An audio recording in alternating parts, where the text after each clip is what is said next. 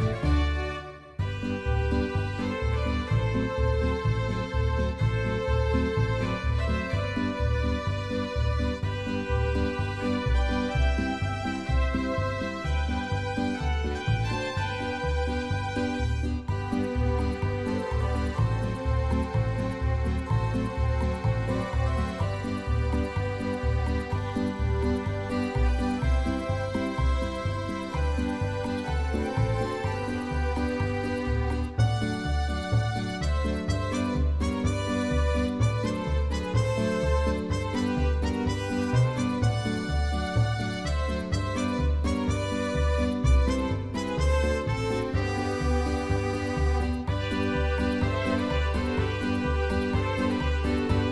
Hablamos con don Eugenio Bordo, aquí desde los Cines Teatro Goya, presentando la candidatura.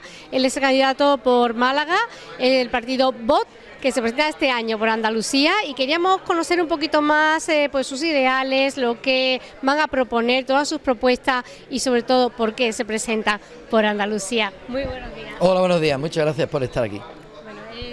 Estamos ya en campaña electoral, le queríamos conocer de primera mano, nosotros ya nos conocíamos antes y queríamos saber el por qué, ¿no? Vos se presenta Pues mira, ahora tenemos en breve un acto de presentación de nuestras propuestas aquí en el Cine Teatro Goya para toda la, población de Marbella y Vox es un partido que, aunque llevamos ya cuatro años, pero ahora somos nuevos para muchas personas que ahora empiezan a conocernos. Somos un partido totalmente nuevo que tenemos unas propuestas mm, novedosas que nadie ha puesto sobre la mesa y una de ellas es la eliminación de las autonomías. Entonces mucha gente nos dice que si no es incongruente presentarnos al Parlamento andaluz si no, si nos creemos en la autonomía y precisamente es lo congruente, presentarnos para desde dentro desmontarla. Evidentemente el sistema autonómico está en la Constitución y digamos que ese es nuestro fin último. Habrá que cambiar la Constitución, eso llevará un tiempo, pero sí hay algunas competencias que se pueden devolver con la actual estructura eh, jurídica puede volver al Estado.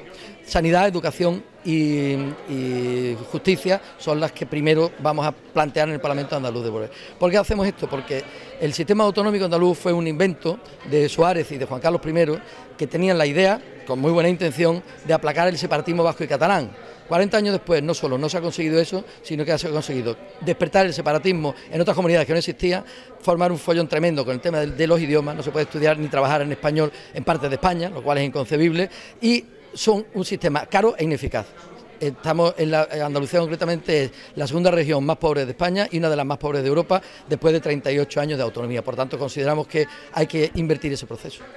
Si hablamos de democracia.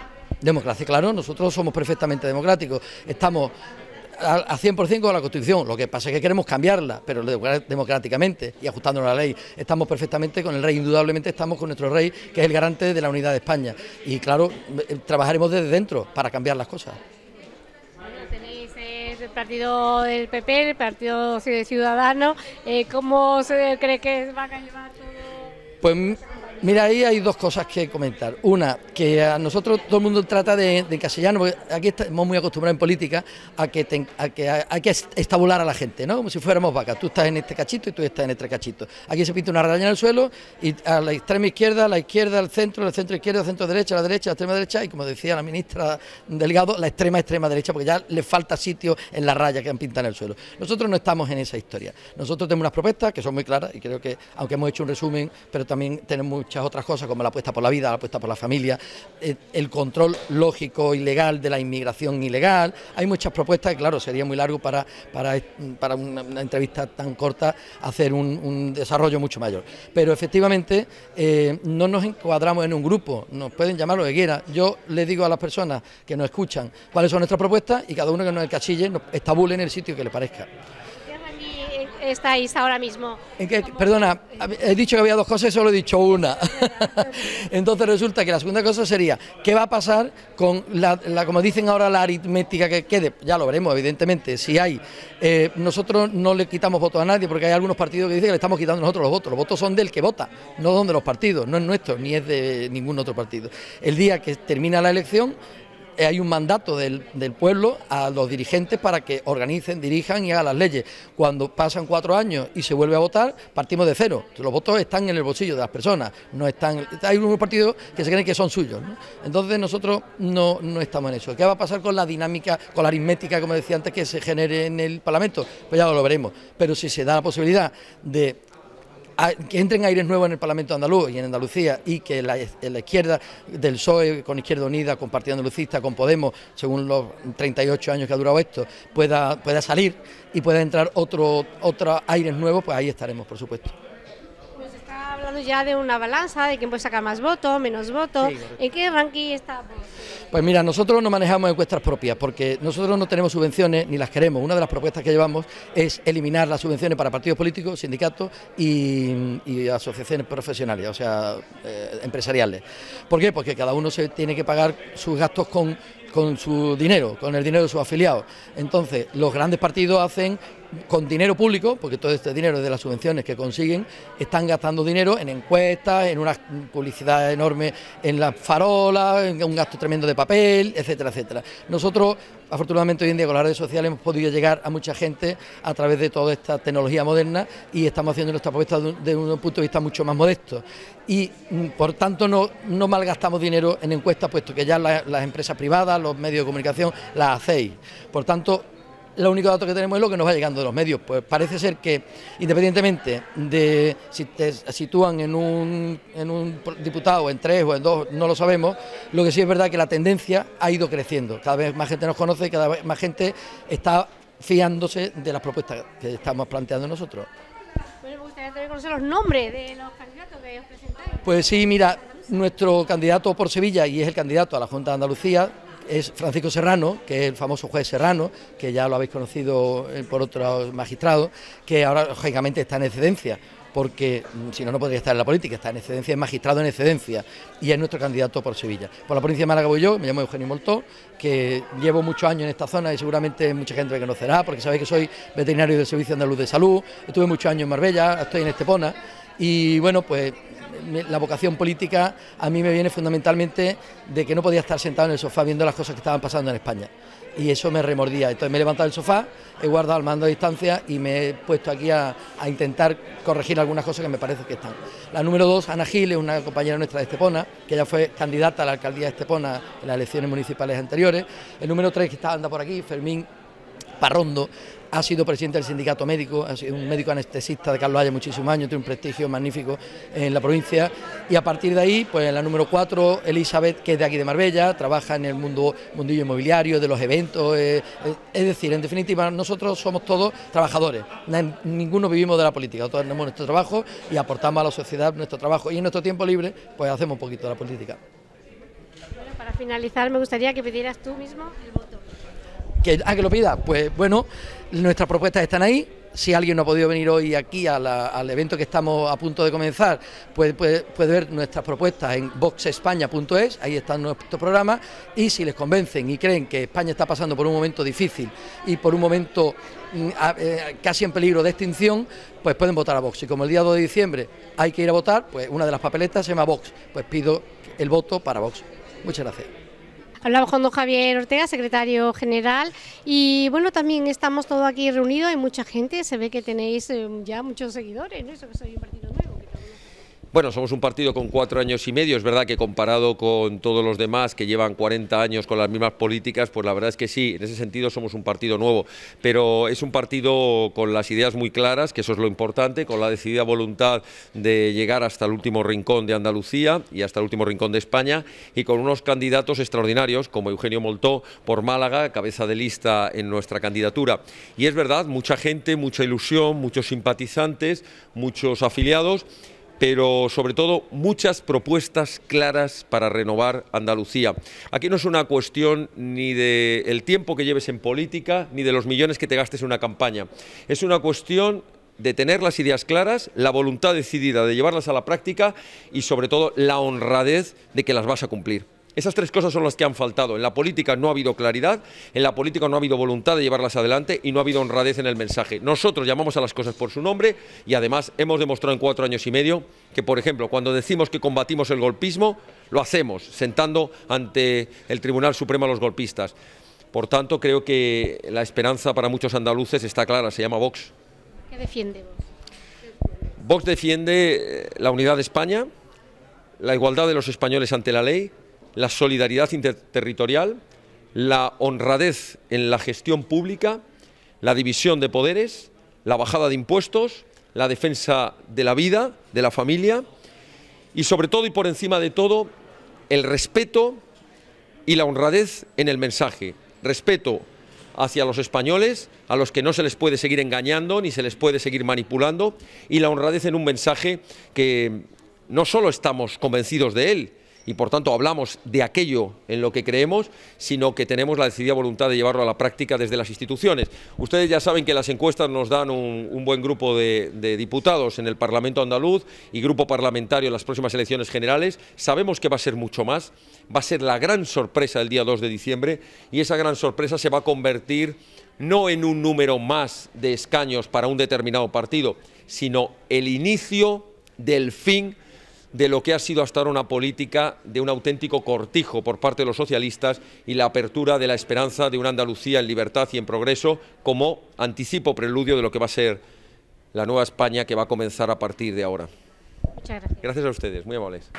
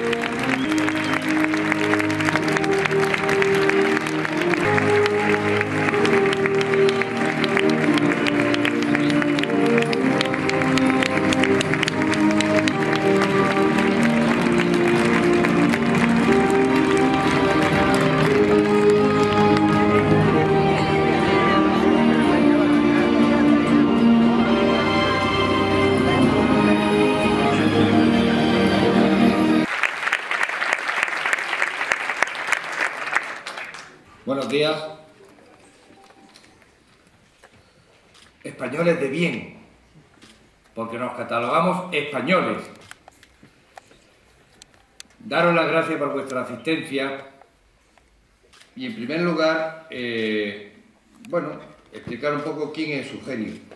No creo que exista un mejor candidato para la provincia de Málaga que Eugenio. Por su, trabo, su trabajo desde el primer día que yo lo conozco es siempre está dispuesto. Vive en Estepona y cada vez que se le requiere baja a Málaga, que es un esfuerzo que el que trabaja lo debe de contemplar. Me queda poco tiempo ya con él, porque lo veo en la Junta de Andalucía dando la lata y mirando por España y por Andalucía.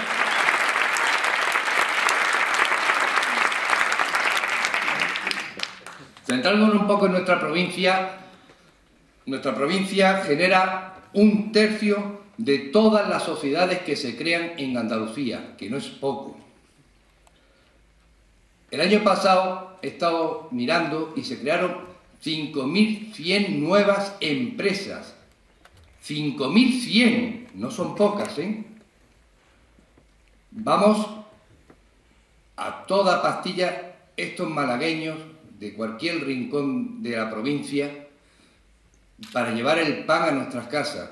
Yo siempre hago una misma pregunta cuando me hablan del resto de los políticos, porque yo ahora soy político, pero no de profesión, sino por necesidad, por sacar a mi casa adelante, por sacar, por luchar, por unos ideales. ¿Cuántos políticos de los actuales simplemente han gastado una suela de zapatos buscando las bichuelas para su casa? ¿Cuántos? Vienen de pegar carteles con 15 años. Son unos trepas impresionantes porque han ido trepando para llegar donde están. Han tardado en sacar la carrera, ni se sabe. Ni se sabe. Y vienen a darnos que somos de extrema derecha, que somos... Váyase a su casa, póngase a trabajar y sepa lo que es llevar una barra de pan a diario a la casa.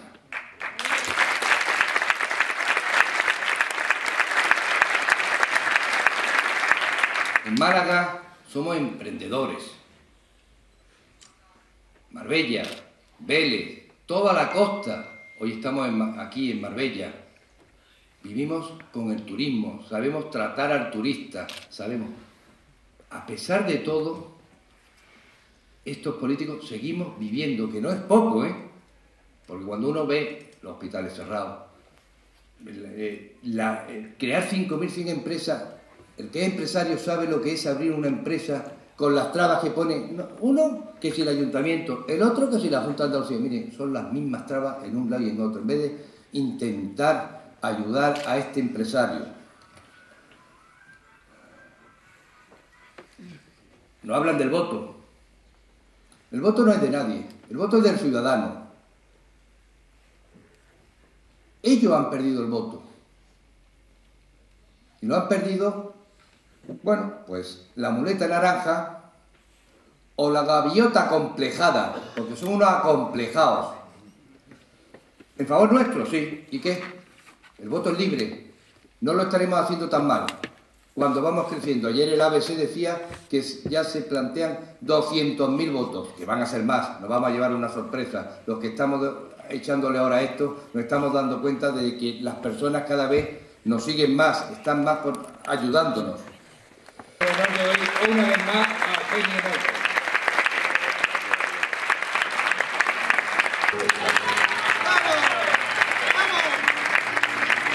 Buenos días, Marbella. En primer lugar, quiero agradecer al equipo de Vox de Marbella, José María Esquerdo a su cabeza, que han, organizado esto en un lugar tan, tan impresionante como es el cine de Teatro Goya de Marbella, en Puerto Banús. Y agradecer a Luis Miguel Goya la gran acogida y las facilidades que nos ha dado para celebrar el acto aquí. Muchas gracias porque esto requiere un esfuerzo.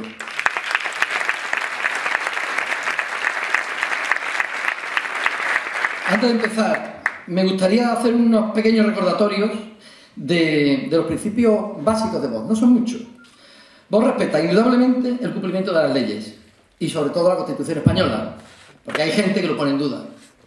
Hay gente que dice, vosotros, como ha dicho José, eh, Enrique, sois de extrema derecha. Nosotros somos perfectamente cumplidores de la ley. Vos respeta indudablemente al rey de España como máximo representante de nuestra monarquía constitucional, parlamentaria, y el último responsable de la indisoluble unidad de la, nación española, por el rey.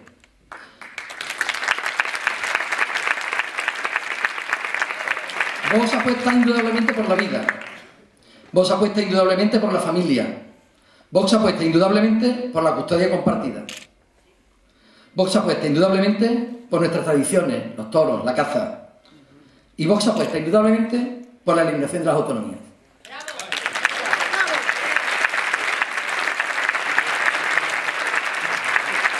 Estamos en Marbella y muchos, los que vivís aquí, lo vivís a diario, pero los que vienen de por ahí, no han visto que en Marbella no se merece tener un hospital 10 años en obra.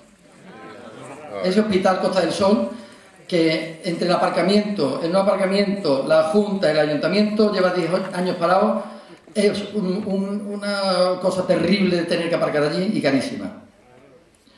Otra cosa, el acceso a Puerto Banús hicieron el túnel de San Pedro para desatascar y a algún iluminado se le ocurrió hacer unos carriles muy estrechos para bajar la velocidad. Pues si baja la velocidad, aumenta los atascos. Pero es que ya no es solo del verano, es que día a día, en verano, en invierno, es un horror tener que pasar atravesar este trozo de Puerto Se puede tardar entre 10 minutos y 30, o 40, o lo que toque. Como haya un coche que haya pinchado, ahí echas el día. Es de vital importancia para la provincia, pero para Marbella, para Estepona, el tren de cercanías, el tren litoral, ¿cuántos años llevan diciéndonos que van a hacer el tren litoral? Pues lo que te rentaré, Molina. Cuando lleguemos al Parlamento lucharemos por eso, porque ir a Málaga, ahora que no quieren que tengamos ni siquiera coche, hay una guerra contra el coche todos los ayuntamientos, pero no solo Carmena, ¿eh? Todos los ayuntamientos están peatonalizando no solo el centro. Yo le digo al alcalde de Estepona, José María, el pueblo te va a quedar muy bonito, pero va a haber que verlo por Google Maps.